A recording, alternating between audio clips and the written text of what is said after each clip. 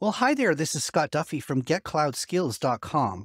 And in this video, we're going to be looking at new changes that are coming to the AZ204 Developing Solutions for Microsoft Azure exam. So if you're studying for this exam and you're planning to take it in the later part of January or beyond February, you need to know about the changes that are coming down the pipeline.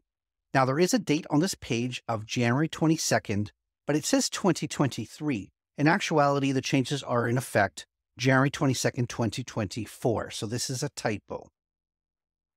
Now, what we can do to examine the changes is we can go into the study guide. Now, the study guide, if I click it here, it does have this January 22nd, 2024 date on it. I'm going to look at the change log. Now, the change log is going to tell us at a glance which sections of this exam have changes. And we can see that there's a few of them in the beginning parts of this exam. So none of the percentages have changed. So out of these five major objectives, they're all of the same percentage. We are going to see some changes in the web apps section as well as functions. We're going to see changes in blob storage and the, those three things are listed as minor.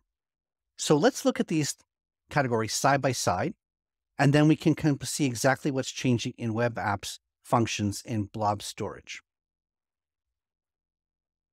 All right, so this is the skills measured prior to January 22nd and skills measured as of January 22nd, before and after.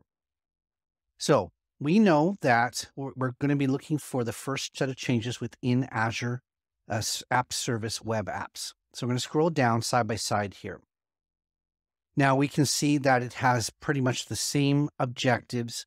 What they've done is renamed Secure Sockets Layer to Transport Layer Security TLS. And that's the more formal name for SSL. So the TLS is the level of security, the transport layer security protocol that is supported by an HTTPS secure certificate type setting. So really nothing changed other than renaming SSL to TLS.